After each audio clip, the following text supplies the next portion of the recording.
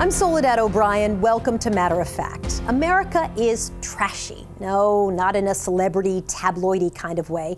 I'm talking about literal trash.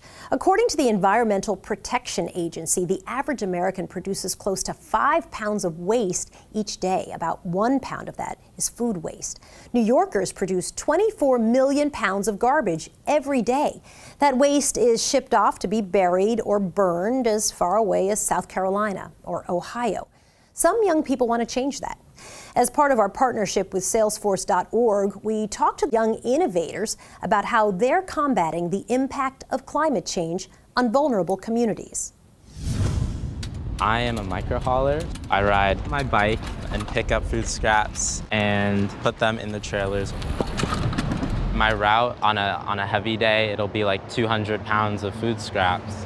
In about two hours, 19 year old Bree Peralta will make 25 stops at homes, apartments, and businesses across the Bushwick neighborhood of Brooklyn. His job? Taking scraps like discarded fruits, vegetables, coffee grounds to be transformed into a nutrient rich compost that's sold to local gardeners. How does composting relate to climate change? Like, connect those dots for me. Well, all the food that you don't divert from landfills release greenhouse gases and methane, and that all contributes to climate change. Clients pay a small fee for scraps to be brought to this small public garden in Brooklyn's Bushwick neighborhood, the home of BK Rot, an organization with 20 young people on payroll. They slop, chop, and mix the nitrogen rich food scraps with carbon heavy wood chips. The piles are turned over regularly, taking in oxygen to break down bacteria and fungi while speeding up decomposition. Finally, after eight weeks of this carefully planned dance of matter, compost is run through a solar powered sifter before being packaged for sale. Every month, BK Rot will divert 15 to 20,000 pounds of food waste but New York City produces almost 5 million tons of compostable waste every year. What do we want? Compost! When do we want it? Now! All right! Sandy Nurse co founded BK Rot before getting elected to the New York City Council, where she chairs the Sanitation Committee.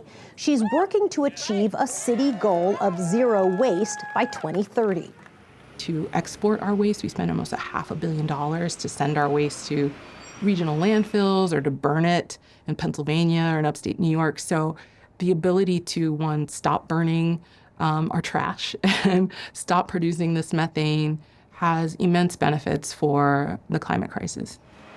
Every day, the city has about 2,100 garbage trucks on New York City streets hauling the trash to massive transfer stations where it's compressed into huge containers, then shipped off by barge, truck, and train. Where does it all go? When we look at the location of incinerators, for example, most of incinerators in the country are located in low income and communities of color.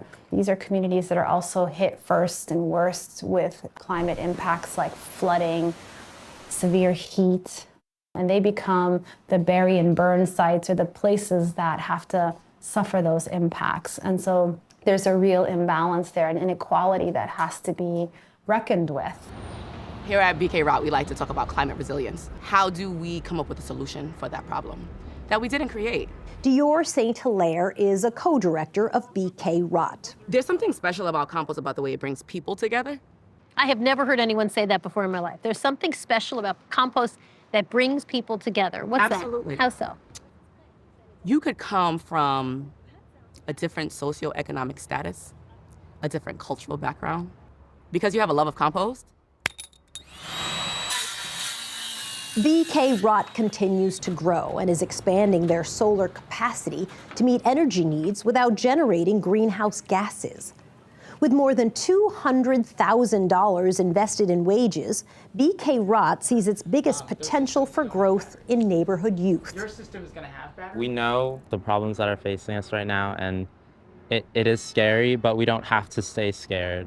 I love seeing like the, the change that's possible. And it just gets bigger and better and more people care and there's more support and there's just more possibilities. In the coming months, we'll visit more vulnerable communities impacted by climate change. You can watch our first piece on how the environment is making it harder for children to breathe in the South Bronx on matteroffact.tv.